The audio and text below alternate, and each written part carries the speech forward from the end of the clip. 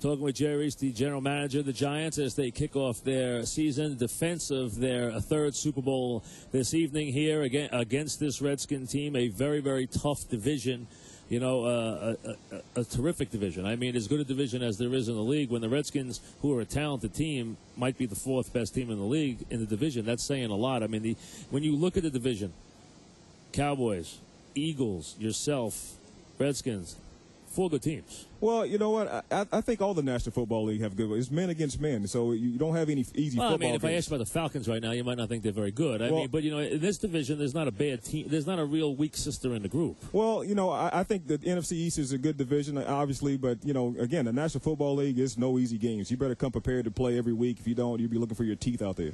When you look at this from this standpoint, tight end was a position you got. You made a move on Shockey, which I think had to happen. I don't think there's any issue. I was always a severe critic of him anyway, so I'm not the right guy. But I do think once he wasn't part of it, it was going to be hard for him to adjust mentally to that. That it was done without him. Uh, so I think the right call. Do you have that position settled or complementary to the point where you don't feel you're going to take a big drop off without Shockey? Well, I, I- think Kevin Boss has, has done a nice job, and he's he's still developing. He, you know, he's gotten much stronger in the off season. You know, Is he blocking enough to be decent? Sure, here he, blocked. He blocked decent, you know, as a rookie last year. So, so he he's obviously gotten a little better at blocking, and he, he works at it. So we're not worried about him as far as if his, his work ethic. got good hands. He's he's a gifted receiver. Got very soft So hands, so yeah. he'll, he'll continue to help us. Uh, Michael uh, Matthews, who played a lot for us last year as a, as a rookie as well, a free agent rookie. Uh, does a lot of the blocking stuff. He's he's really improved catching the ball. And Darcy Johnson had a big game in the last preseason game. So, you know, you know it's it's a it's a tandem of receivers at, at the tight end position, and we kind of a committee of tight ends. Uh, but we think we have enough to get the job done. Did you get close? We're talking with Jerry Reese, the general manager. Did you get close to bringing Strahan back? Was there a chance you were going to bring him back? Well, we, we, you know, had good conversation with him, and uh, you know, it, it, you know, Michael was great. Number one, he was great about it. It wasn't about the money. You know, the money was enough that we offered, and uh, but Michael just, you know, he honestly said, Jerry, you know, physically I think I can do it, but mentally it's too quick. I don't think I can come this quick, make the adjustment this quickly, and and give you guys what you need. And uh, so. I'm going to bow out and continue to stay retired, and we really respect him for making that decision. He didn't make it a long, drawn out, you know, uh, fiasco. You know, really in 48 hours, he let us know and made a, made a decision, and we respect him for that. Are you concerned long term about your kicking situation? Well, you, we're, we're always concerned. You know, John Carney is, is a veteran kicker. We, we feel good about having him out there. You know, standing. If we if we need a game yeah, winning field goal tonight, he's only about 140.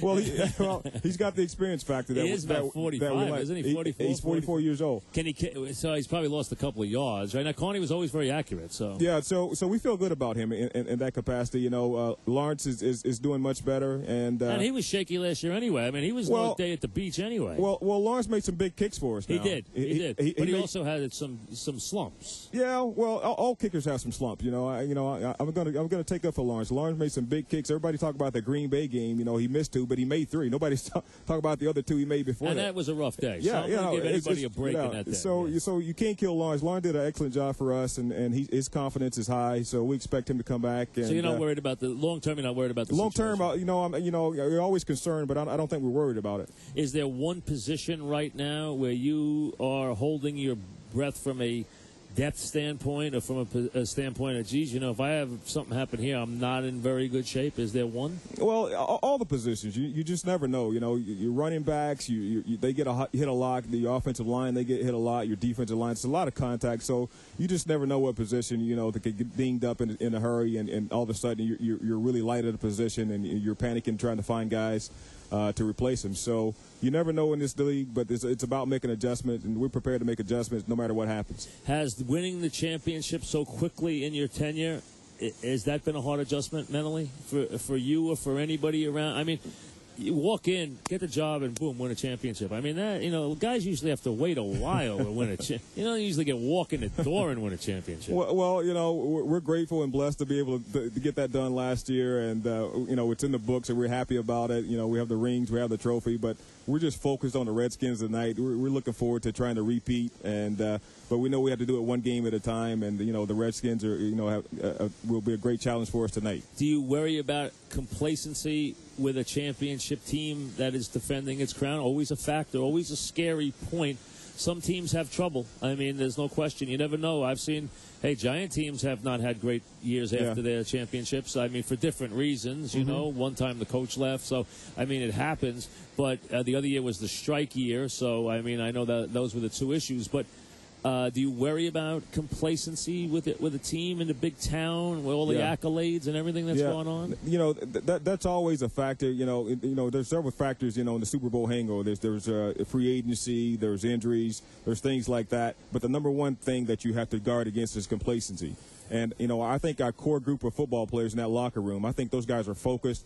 Our, our head coach is not going to let them be complacent. I think our core players who who know what it took last year to get to that point are not going to go out there and take anybody light, and not going to go on last last year's uh, you know uh, team. We're going to be, we have a new team. It's a new set of circumstances. I think we understand what it takes, and I think we'll be focused to do that. If you were going to give me one of the offensive young players who you thought would have a big season for you, I mean, a, a good, a real, maybe a breakthrough season for you, who would it be this year? Uh, offensive young player. Uh, one of your younger, you know, guys, first year, second year guy who you think maybe will step up and maybe separate himself at wide receiver or separate himself at in, in the running back game or in the tight end game. Well, i- is there one Mm-hmm. Yeah. guy you could see emerging? Kevin Boss.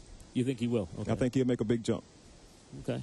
Well, listen, congratulations. Thank you. Enjoy it. Take it all in today. You know, the fans haven't had a chance, as you know, 80,000 strong haven't had a chance to uh, tell every, you know, how much they appreciated what you gave them last year. Well- You've seen them in bits and, and here and there and some on the road, but you haven't had, I know you had parades and everything else, but now you got them in your home, full house tonight. So uh, It- I'm sure that will be It fun should be watch. exciting, Mike, but it's going to be hard to match that parade. it should be exciting here tonight. I think our fans are looking forward to it. I know our players are looking forward to it.